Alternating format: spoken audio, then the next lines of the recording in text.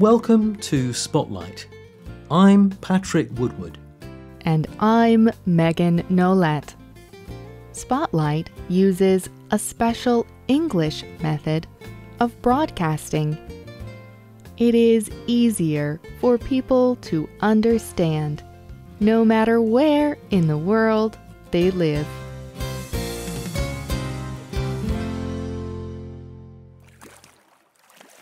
Philippe Croizon swims in very cold water. The sea is dark. The waves are high. He is in the far north. He is crossing the Bering Strait. Finally, he reaches dry land. It has been the most difficult swim in his life. But he has finished. He has crossed the seas separating Asia and North America. It is a major success for anyone. But it is an even greater success for Philippe Croizon. Croizon has no arms and no legs. Today's spotlight is on Philippe Croizon. His successes show that we can all achieve great things, no matter who we are. Philippe Croizon was 26 years old when he had an accident. He was working to fix a television wire. He climbed to the top of his house on a metal ladder. But he accidentally touched a power line. The electric shock went through the ladder. It set his arms and legs on fire. A neighbour found him 20 minutes later. His arms and legs were burned so badly that they stuck to the metal. The doctors tried to save Croizon's arms and legs, but they could not. The doctors had to remove both of his arms and both of his legs. They left parts of both arms and legs, but not enough to walk or use his arms. Croizon had been a healthy young man, but now he was disabled.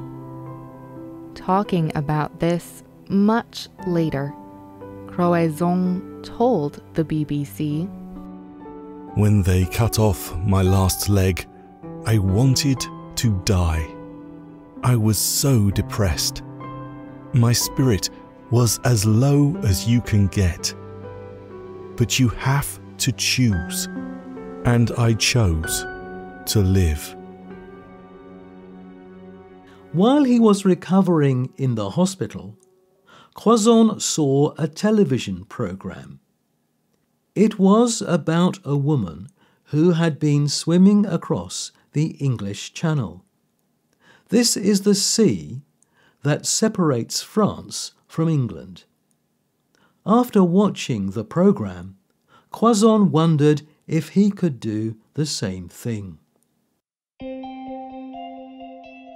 Croizon decided to make crossing the channel his new goal.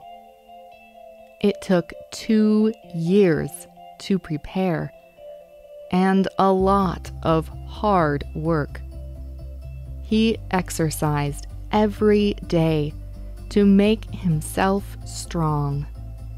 And he spent a lot of time in the water. He used special equipment to replace his hands and his feet. The equipment attached to his stumps, what remained of his arms and legs. This helped him to push against the water and swim. He would swim for about five hours every day. Finally, in 2010, Croizon was ready. He entered the cold grey sea of the English Channel. He was now 42 years old. It took him from early morning until night to swim the distance. His body ached, but he continued. He became the first person without arms and legs to swim between France and England. Croizon had achieved his dream. But he did not stop there. He searched for a new goal. Early in 2012, he announced a new project. It was called the Intercontinental Straits Swimming Challenge. He planned to swim across the seas that joined five major continents. His friend Arnaud Chassery would join him. Chassery was experienced in swimming long distances. The two men trained hard together. They worked as a team. Croizon told the BBC When it comes to training, Arnaud has to put my special equipment on me. On land, I am just a big baby. But a big part of this project is the unity between Arnaud and me. What I do, Arnaud does. What he does, I do. We remove what makes us different. In the water, we are the same. We are both human. Together, the two men swam many kilometres. They swam between the four continents of Australia, Asia, Africa, and Europe.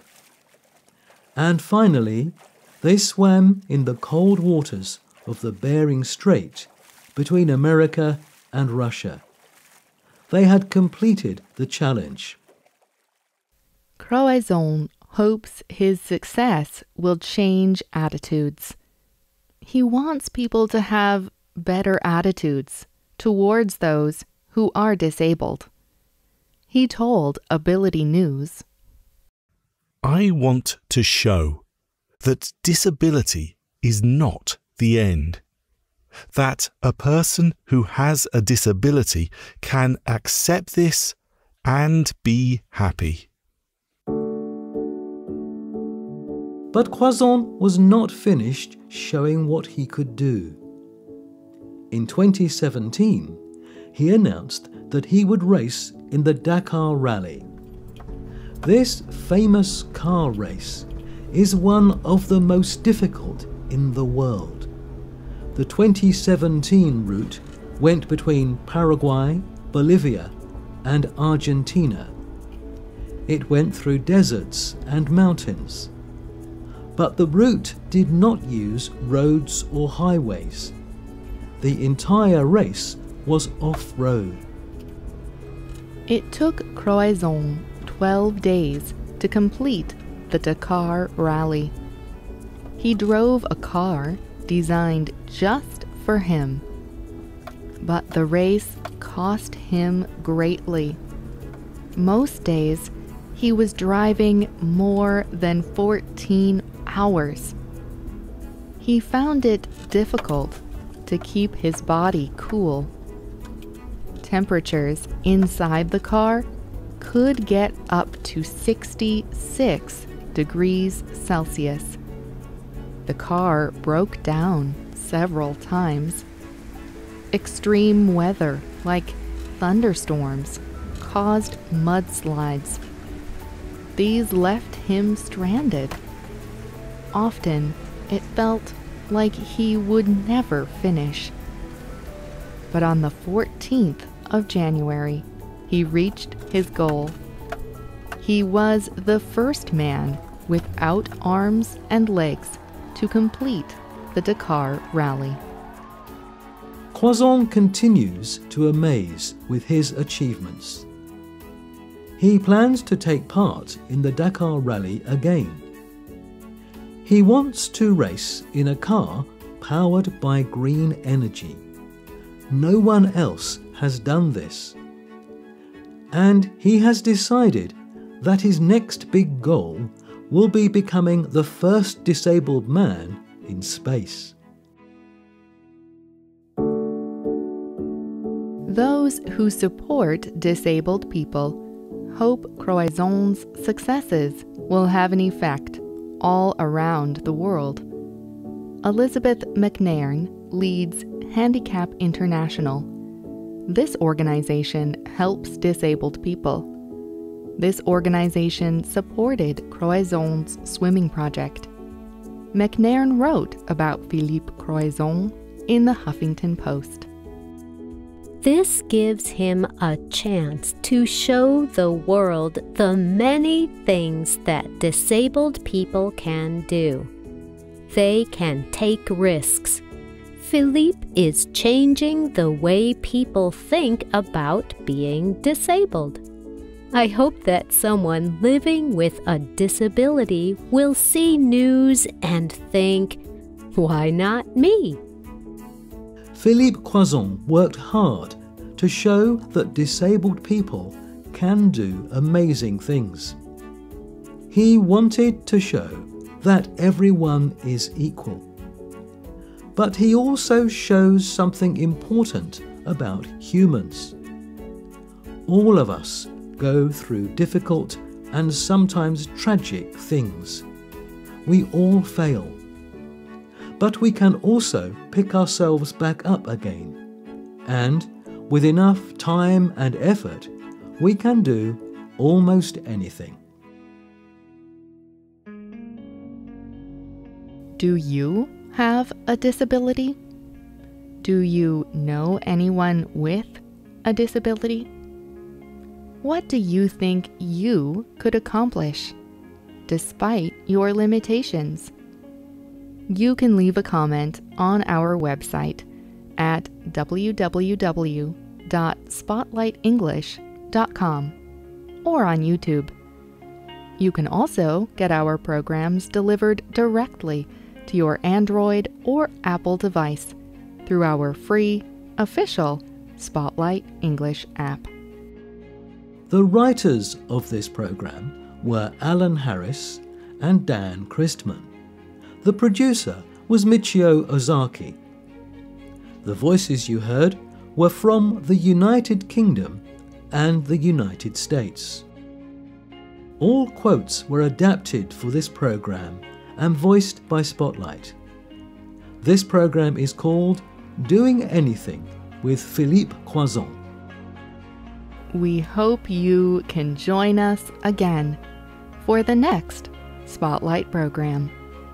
Goodbye.